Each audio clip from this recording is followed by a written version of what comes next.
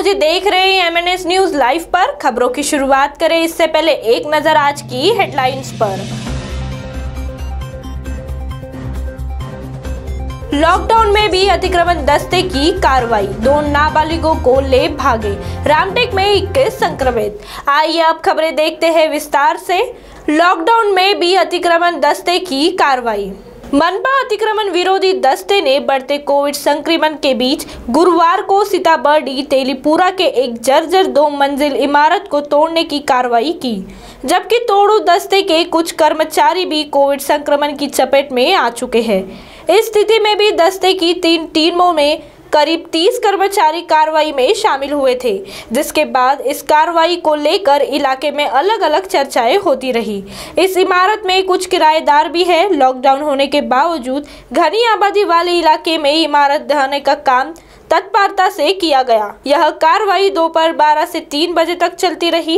इस दौरान इमारत की पैराफिट वॉल और कमरों की दीवारें भी तोड़ी गई। इसके कारण नागरिक भी कार्रवाई देखने के लिए पहुँचते रहे।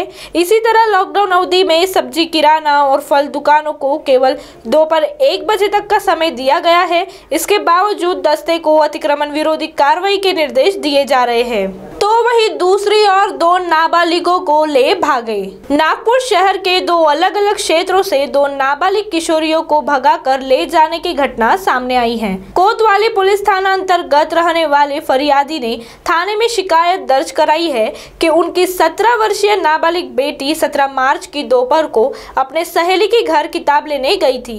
इसके बाद काफ़ी देर हो जाने के बाद भी घर नहीं लौटी। घर वालों ने उसकी खोजबीन की, लेकिन जब वह कहीं भी नहीं मिली। दूसरी घटना में 17 मार्च को एमआईडीसी परिसर में रहने वाली 17 वर्षीय किशोरी को बस्ती के ही किसी अज्ञात युवक द्वारा भगाकर ले गया। इस संदेह के आधार पर नाबालिग के परिजनों द्वारा एमआईडीसी थाने में शिकायत दर्ज कराई गई। दोनों मामलों में पुलिस ने मामला दर्ज कर किशोरियों की तलाश शुरू कर दी है। तो वही तीसरी और रामटेक में 21 संक्रमित। तहसील में गुरुवार को 21 कोरोना रुग्ण मिले। इसमें रामटेक शहर में पाँच और ग्रामीण क्षेत्र में 16 रुग्ण का समावेश है। तहसीलदार बाबा साहेब मस्के के अनुसार शहर के रामलेश्वर वार्ड में दो, जयप्रकाश शिवाजी गांधी वार्ड में प्रत्येक एक एक रुग्ण मिला है।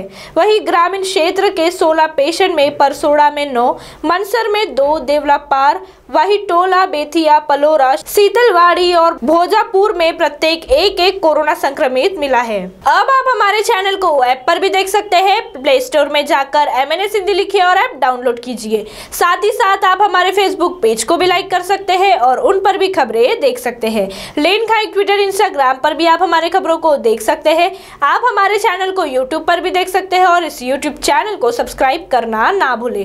फ़िलहाल वक्त हो चला है एक ब्रेक का। ब्रेक से लौटने के बाद देश और दुनिया की तमाम खबरें देखने के लिए जुड़े रहिए हमारे साथ एमएनएस न्यूज़ लाइव पर। नमस्कार।